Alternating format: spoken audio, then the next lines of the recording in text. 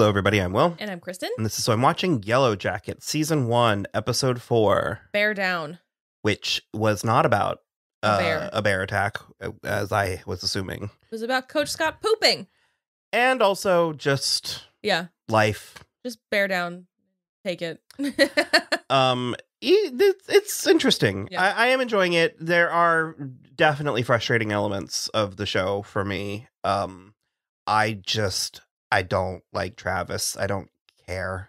yeah, so hey, like I see what they're doing because I'm like slightly more sympathetic now and like when he gave the ring back to his like and everything. He could always just Yeah. not be mean to his brother, and then he wouldn't need Well, and- a gesture. and every single one of the girls. Yeah. Like taunting them about shooting a gun. I so I've said it before, but it was like I was raised with guns, and similarly, we were watching this with Rachel, and she was also raised with guns. And there's just I don't have sympathy, patience, understanding for people who don't understand and don't treat guns with respect. Properly, and he he pointed a loaded gun at Natalie Yeah. because she called him a nickname he didn't like, and I just it's Which nobody knows the story about but him. it, it's also just so stupid. It's that like no medical doctor is going to be removing a teenager's ribs so he can blow himself better. It like none of it. Because I even remember hearing that Yeah. like in middle school. Because Yeah. again, it was apparently a '90s rumor. yeah, I was like, oh, that rumor was around even longer. I remember than being, being 12 and being like, "This is the stupidest thing I've ever heard in my life." Like what? It I also don't think it's strictly your ribs that No, keep you from bending that it's your spine and your flexibility. It's Yeah. like because I've, I've there are people who can do it, but it's like it it's it's like less than twelve percent of the population. I, and I feel like it takes you a long time to train. No, it's like a it's a genetic. It's like an Oh, anomaly. like there are people who can do it. bendy It- people? Yeah. Um. Naturally bendy people. Yeah. I mean, the same way that some people can like. sure, sure, yeah. sure. Okay. Also, not for nothing, but endowment plays a Ah, yes. plays a role. like I like uh, this is a really weird tangent, but it's like I like no matter what, I feel like you're not deep throating yourself. Like I'm, I'm sure that's not how it's working out, right? not that I've seen. I not that I can recall. not that But- I've seen is what you just said. Based on my anecdotal evidence. Um oh, I'm a little punchy. so I just like I don't know. I don't have a lot of of empathy or sympathy for Yeah. his plight and especially and I mean maybe it's the it, it speaks to the male female uh experience, but it's like Natalie's just handling her trauma so much better. So it's like Yeah, well, that's the thing too. Is like I think at this point I only give a crap about Travis for how he serves Natalie's story. I mean, it appears that we've like made a breakthrough. So I guess I, should in, hope so. in yeah. that regard, it it's nice. And I mean, because she does seem real broken up that he's dead, and I feel like she would be slightly less broken up if he remained a dick the whole rest of the time. well, and it's interesting. It's interesting to note because we we were speculating earlier on in our coverage, but we were like wondering who survived. And like in our episode one, I was like, I wonder if any men survived, and clearly he had. yeah, And I understand that it serves story purposes now, but there's a part of me that I'm like, man, it sucks that he's survived up until this point. yeah, So it's like we still won't get to know him yeah. as an adult. I don't know. It's Uh, weird. it, it's interesting. Um, fucking, fucking Misty, because they they kind of have way. No, they don't. I was gonna be like, they kind of have ways of sort of earning some of her behavior, and Not anymore. Yeah. yeah, I- yeah. At first, yes, but it's like also Well, no, I just any time that I go to defend her, I'm like, no, she tore the thing out of the black box. Yeah. That's just no. Well, also, I like get that she's the one with like this like quasi medical experience, but like there are two boys also on this trip. One of them should be helping the coach poop in the woods. It should not be Misty. It's weird. It's super weird. She's also he's like getting annoyed and angry with her and like lashing out and so she tripped him at the end of this episode. I don't know. And she's also in the present day, she's following Natalie around on her meeting with Kevin. And then she calls Shauna at the end and she's like, Travis is dead.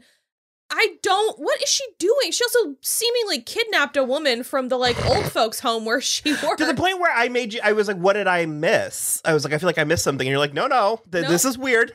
You are correct to be. But we also know that the that like reporter lady is following Natalie around too. And so Misty gets in her face. And the lady was just sort of grinning at her. And I'm on the one hand, I'm like, yeah, don't take it from Misty. And on the other hand, I was like, Misty's gonna chop you up into little pieces and feed her to the old folks Oh, home. she quite literally was like, "You should be afraid of me." Yeah, I know I don't look she didn't say watch out for me Yeah. she didn't say i'll surprise you blah, blah, blah. she was like you need to have fear Yeah. and that is that is a slightly different thing especially the the framing of it because she she literally said i know i don't look like someone you should be afraid of but you're wrong Mhm. and i was just like "Ah."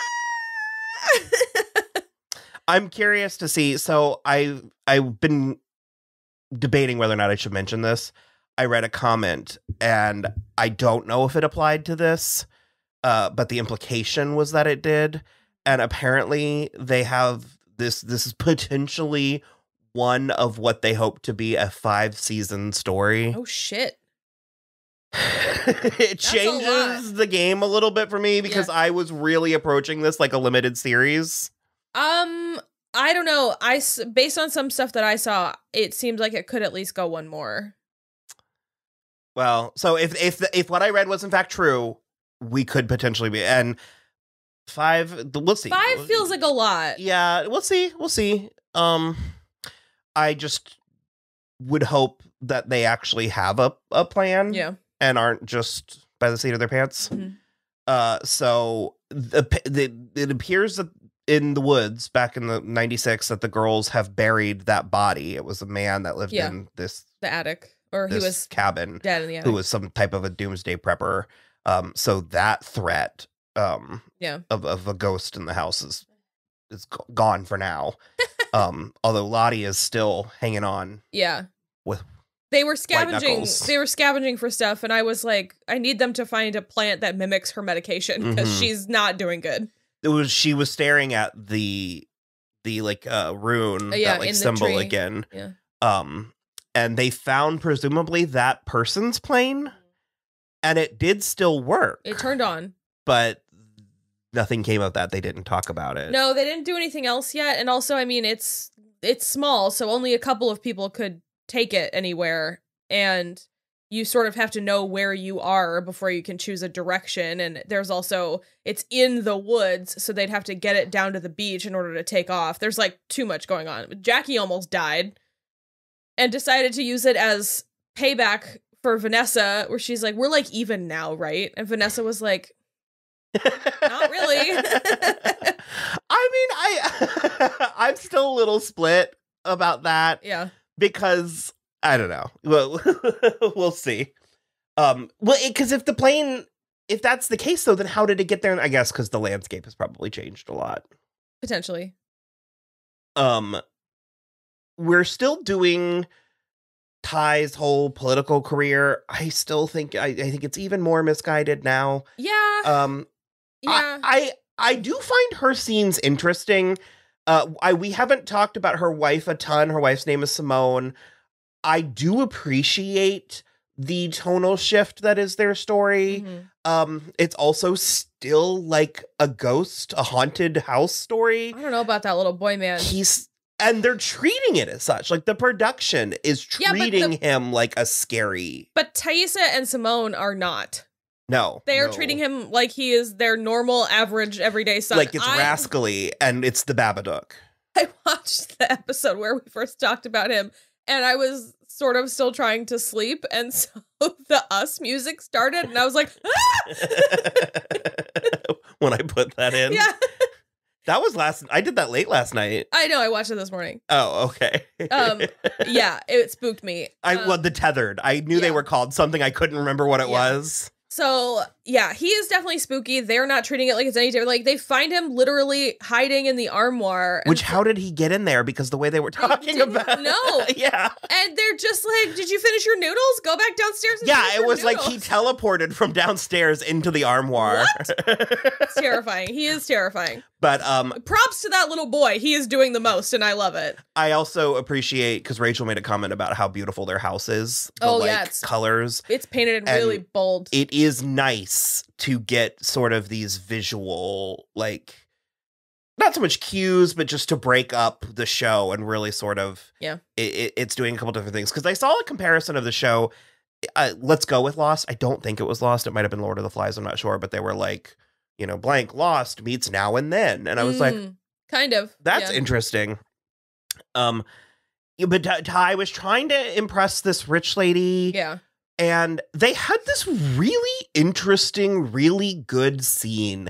And there's just this. I, I'm gonna have to let it go. Either either there's information we as the audience don't have, or I'm just gonna have to stop fighting this specific plot point because it's come up a lot. Yeah. But there is a certainty among the people that there is more to the story than what the girls have said. Yeah. And I will go ahead and say that n- all of their behavior Is suspicious. yeah, so in that regard, then maybe. But like uh, you're right because it's as if we the audience are missing something because the implication is that that the public in this world has more information than we do. In which case there is It- it's like someone stood up and said there's more to this. Right, And, and the- then disappeared. the or- implication to me is that there was like enough of something or like enough discrepancies with something or like they when they finally found them they found the other bodies and there was like enough proof to determine that like not all of them died at the same time or something but like we have no But way of knowing that Even still, and I'm asking, I mean, are you going? Does that not, like, okay, the, what's the Donner Party or what? Yeah. Did they then g- go on trial? Like, I were they know. tried for murder? Or, know. because I'm sort of like, well i don't doesn't it- think did they murder i thought they just ate their dead did they murder because like the people in alive i don't think they murdered i think they just ate their dead and I'm sure that was their story. well but my my point is a lot of like I get the the the human desire for like gossip for like tawdry like all for for the details. But also can't you kind of just assume like don't we just assume that like it got pretty primal like i don't know yeah I, I I'm curious. It, it- it's not a big enough issue for me that it fully derails me watching the show. But there is a part of me where I'm like, what is this insistence that they're? that's the thing is like there's uh, like in every single episode, at least one person is like, "Why don't you tell me what really happened out there?" and I kind like- of expect Ty to kind of be like, what do you think? yeah, Like, I'll give you a hint. yeah. You're probably not far off. It rhymes Like- with schmanable. or even or even because it's like cannibal isn't exactly the first place I would go, but it's like I think it would be fair to imagine that maybe like someone that manslaughter's probably on the table. so okay, that's Do you know what I mean? Like that's my point and what I was kind of talking about in the first episode where I was like, we don't know if that wasn't like a just punishment for someone's wrong behavior within this mini society that they had to establish. Perhaps that is the way that it's fucking brutal, but maybe that's the way they found out to punish. Like, if you can make it through this, like, Gauntlet. gauntlet, then we're, you're good. But if you fall into the pit of spikes, you're dead, you know? Which in that regard, then maybe I do feel like they need more. They can't just reintegrate into society. I feel like you need this, you need some therapy after that. a No, minimum of yeah. therapy, if not like institutional. Yeah. um, no, I totally agree. It's just that's I feel like that's my biggest complaint about the show right now is that uh, and it's not even necessarily a complaint. We but we are moving slowly, and I feel like I need like one percent more information to like fully get a grasp, and I feel like we're gonna get enough to like I'm enjoying it, and that's Yeah. ultimately why I brought up the the thing that I read about this could be five seasons. yeah. Because I'm anticipating closure, and maybe I need to take that Eh, off. yeah. I think we're gonna get some closure. I don't think we're gonna get. It's gonna be like the finale of Lost. We're gonna Mhm. get a little bit of closure, not enough. so Ty told off the rich lady. Um, I don't know how I feel about that. Uh, again, I find her whole story very It's a little weird. because I also I I think Tawny the actress is very very beautiful and charismatic and dynamic, and I also kind of I do a little bit buy into her um idealism, her optimism, bordering on I guess naivete. But can you really be naive if you've been through? I don't know. I that's the thing. it- That's the thing is what I don't love about her is that she believes that she can get through this campaign without this becoming the main talking point of her campaign. You know what I mean? Like, of course, everybody's going to ask you questions about it. Everybody. I'm surprised that it's not already the cornerstone of her campaign. Mhm. That's the thing that's frustrating me about Taissa. um we had fucking i don't i don't trust adam No, i don't same. know what it is it's weird i I love watching it, but he is bad news bears. and shauna's still like so i guess i guess it's sort of like what we were talking about in the first episode with her very questionable Yeah. masturbatory Sure. endeavors but i guess she is a little stunted like she is sort of trying to live yeah, out the whole episode is about her like trying to recapture her misspent youth, kind of. And Uh-huh. so they're like, which if the pilot was any indication she got plenty of that yeah, maybe not all 10 years of it but she got banging down with her best friend's boyfriend. I mean, come on. sneaking out going to parties drinking yeah, Yeah. i don't know So it's like there, but I I do I I appreciate what she's doing because they like they go to do this mini golf thing. They um well they get, get, they get someone else to buy them liquor from the gas station. my head was reeling Just like a like a cheap ass gas station. because i'm far enough i'm far enough away from that place that i had kind of forgotten but do you remember there was a good like seven years of my life that i lived that way where i had the because people always ask me why i had why i went to parties with water bottles Yeah. full of alcohol, full of one fifty and I. I remember being like, it's not water. Like, because I thought I, I thought it was so obvious when I was chasing my water with soda. Like people thought I was sober and just doing it. So like, oh. and I was like, I am hammered right now. and it just like, and like I said, I, I, I'm a good ten years out of that by this point, and it came screaming Yeah. back to me watching her pouring the cheapest alcohol he could buy into the orange juice, Yeah. and like I could I could smell that scene. yeah. So, um, did she get Misty called her and told her Travis died, and Yeah. she went into her house and was weird? I still want to know what her husband was doing. I still think it might not be exactly what I we. think she's having a revenge affair now, and we're gonna find out that Jeff has not been fucking anybody. Yeah, That like he's only ever had sex with Shauna his entire life. You know? because he hasn't even slept with Jackie. No.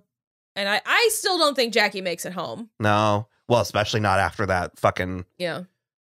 Propeller. vision. No, the them standing on Oh, the bridge. Yeah, and then she had a vision of young Jackie. Yeah. Mhm. She jumped off a bridge with Adam too. Yeah. Mhm. It's a lot. It's a lot going on. But um, Oh, and then Natalie's yeah, I was gonna say we haven't even talked about Natalie's dad. I don't know. It's a very standard plot yeah. it, it's that that th- I, I am really enjoying the show, but there's a handful of aspects where I'm like, this was on the checklist, wasn't it? Yeah, it's a little cliche. I don't necessarily mind it, and especially because the ending of that story was less cliche, where like I just thought she straight up killed him the entire time. I I got I got the sense that this show was gonna it threatens you with thinking yeah. things are more than they are, and he just tripped and is an idiot and blew his own face off. He deserves it. Yeah, her fucking mother. Ugh. Useless.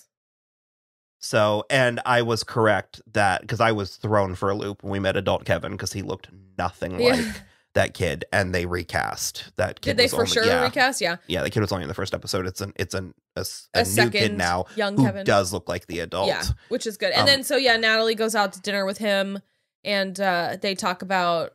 Uh, she she brings up Travis a lot. She's a little manipulating too, but it works because she's like, I just not knowing if he was high when he killed himself and blah blah. Because she also doesn't believe he killed Well, and himself. Kevin, I don't remember if we said, but Kevin's a cop, Kevin is a cop, so he Yeah. is manipulatable. Yeah. for or there, there's reason to Yeah. use him that way. So Um, he's gonna look at the tox report to see if there were any drugs in in uh, Travis's system. So yeah, I think that's mostly it. I'm still loving all the performances, especially because like even though Adam is suspicious and the whole storyline is sort of like, come on, I'm loving watching Mhm. Melanie Lynskey do this. It's like one of the most fun things, and her like younger self is that so they do get a deer. They go out hunting and they get a Mhm. deer. And Natalie and Travis. Natalie and Travis get a deer. After he gets that ring for his little brother, they go dig up his dad. Ugh. Um, but Shauna is like, I'd like to try to slit the deer's throat, and she does. So I think we've got some sort of, you know, impulses from everybody hmm that we're leaning into. So, okay, well, I think we're going to watch the next episode and then Yep. we'll get back to you. Bye. It's a fact. I'm back. Yeah, I'm standing on the rooftop shouting out, baby, I'm ready to go.